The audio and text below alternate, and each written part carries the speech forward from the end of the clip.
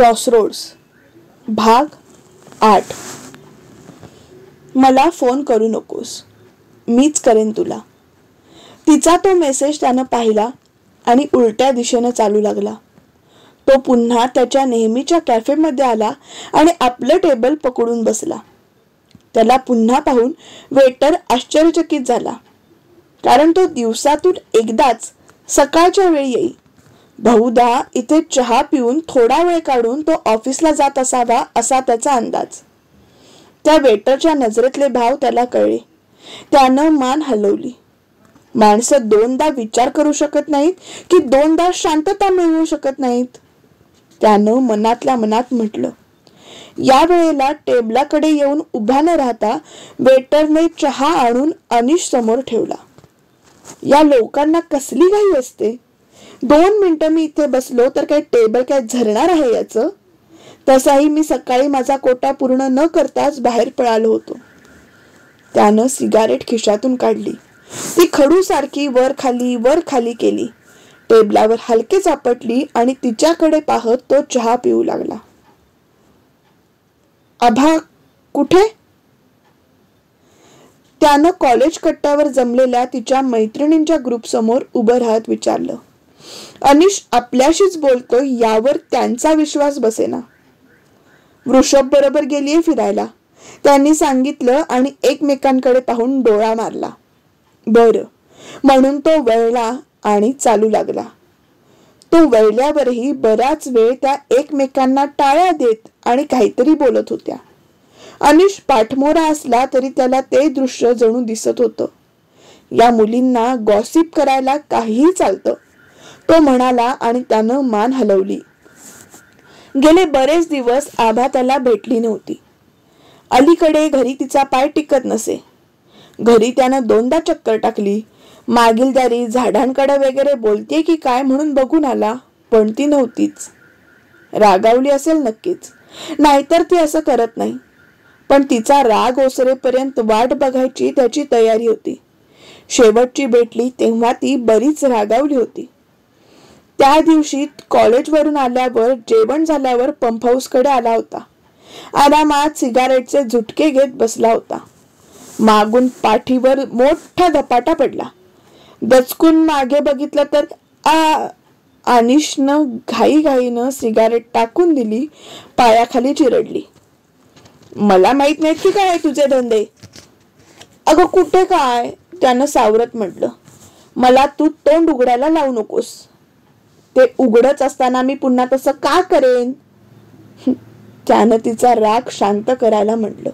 पण ती अधिकच भडकली. अन्या मला आवडत नाही हा तो सिगारेटचा वास. कळलं तुला? तू अलीकडे मित्रांच्या नादानं ही व्यसन करायला लागलायस. व्यसन? दिवसात एखादीच. सुरुवात एकानच होते अरे. तिनं अनिशच्या शर्टच्या खिशात हात घातला तर आणखी एक सिगारेट हाताला लागली. मग या काय अईमई सारख्या खिशात तयार होतात? तिच्या रागाचा पारा चढत होता. घे खा मर. तिनं ती सिगरेट अनिशच्या तोंडात कोंबत म्हटलं आणि त्याच्याकडे न बघता घराकडे दावत सुटली. त्यानं ती सिगरेट खिशात ठेवली. बाहेर येऊन विहिरीच्या कठड्यावर बसला. बराच वेळ तो विचार करत होता. अनिश तसा कुणाच्या अध्यात्मध्यात नसे. मित्रात असूनही तो एक अंतर ठेवायचा. त्यांच्याबरोबर फिल्म बघणं क्लास बंक करणं हेही करायचा. पण ते मित्रांचं मन राखावं म्हणून. त्याला या गोष्टीत कसलंच ॲडव्हेंचर वाटत नसे. अशाच गमती गमतीत मित्रांनी पैज लावली.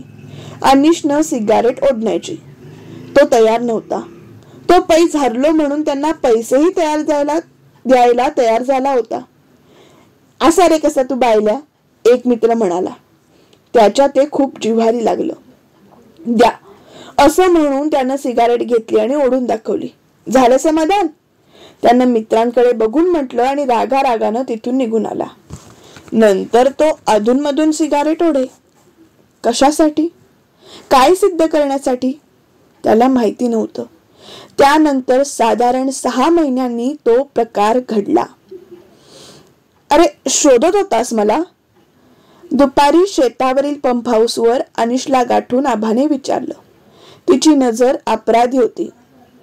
बाजूला टेप रेकॉर्डर मोठ्यानं लावला होता आणि अनिश काहीतरी वाचत होता. गाणी ऐकायला आबालाही आवडत. विशेषतः अनिश सोबत असताना.